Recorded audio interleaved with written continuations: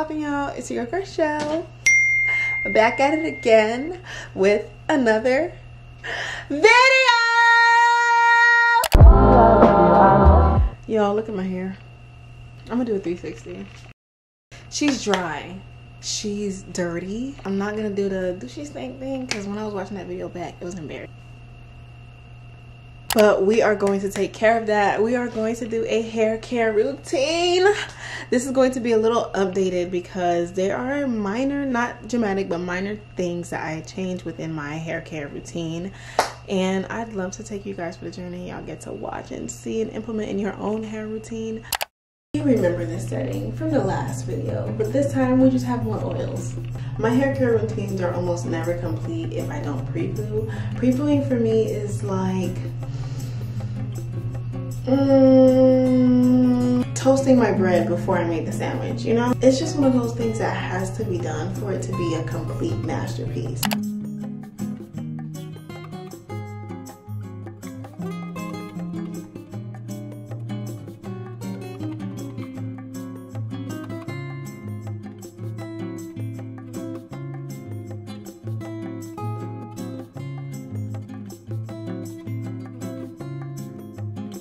As you guys know, I never put my oils in the microwave. I always put water on the stove and then I take an aluminum plate and I put it over and then just let it melt.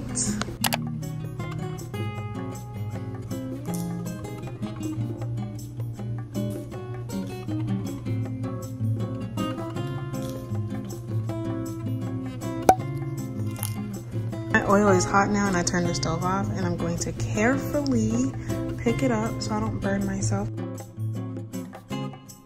We have our concoction.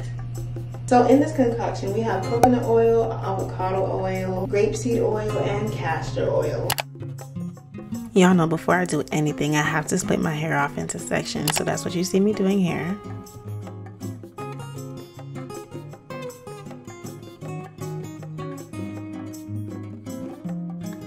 If you're like me and you have low porosity hair, you want to spray your hair with warm water or wet your hair with warm water before you moisturize because that's how you get your cuticles to open up and your hair would allow moisture to come in.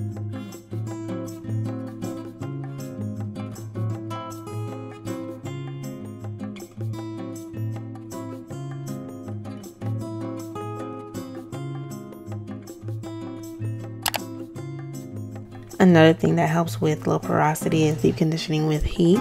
That's why you see me heating up my hot head. I actually need to get another one. I've had it for years. I love it. I cannot go through a wash day without it. I was so mad. That water was so cold for no reason. That's what I get for using my mom's shower though. for shampoo and conditioner, we're going to be using the Function of Beauty Coily Hairline. Function of Beauty's products are paraben free, sulfate free, cruelty free, and they're vegan.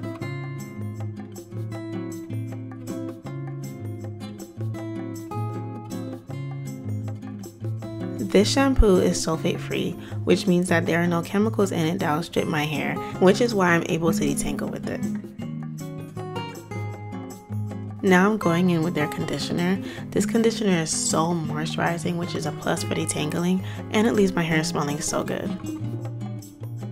This is my first time using Native Strengthening Hair Mask, and I have to say, I'm actually going to keep it in my rotation because I really like the way that it left my hair feeling. My hair actually did feel stronger after using this product.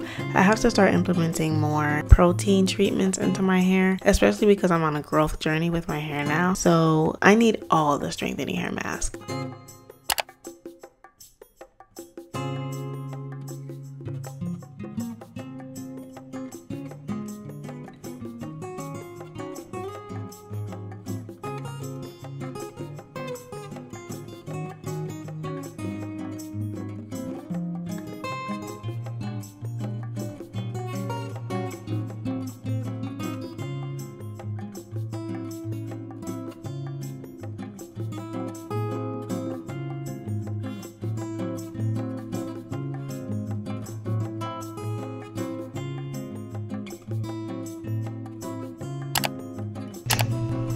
Okay, so it's the next day and Last night, once I rinsed the mask out, I literally just braided my hair into four braids. I'm gonna explain this later, but I braided my hair into four braids, four sections, and I did that under the water. So it, I could use the weight of the water to braid my hair down to stretch it as much as possible. Now I'm moisturizing my hair, applying my leave-in and my oil, and this oil is like the star of my hair care routine this time around. I am using OGX Renewing Argan Oil of Morocco. This here, you can either try it in the way that I'm trying it to see if it works for you, or you could figure out your own way on how to try it. But this right here is my holy grail. So moving on, I'm going to turn this side into this side. So I just moisturized my hair, like I said, and applied my oil, and it feels so silky soft. I'm getting ready to do mini twists let me know if you guys want an updated mini twist tutorial. I haven't done one in So I'm going to take this braid down. So since my hair was washed last night, it's like a tad bit dry. I don't want to dampen it or wet it, but I'm just applying like a little bit of water on my hands. And just rubbing that into my hair just to give it a little bit of life again, if that makes sense. This is what we're using. This by far is one of my favorite leave-in conditioners and it makes it very easy for me to heatlessly stretch out my hair. And it smells so good, the mango in there. It really giving mango for real.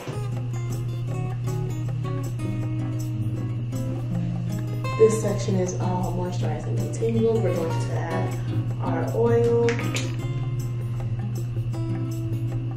I'm really not exaggerating when I say this makes my hair feel like silk. It's insane. So because I'm mini twisting my hair, I really want my hair to be stretched out as much as possible, heatlessly. So that's why I'm braiding really tight and I'm also brushing my hair as I go down.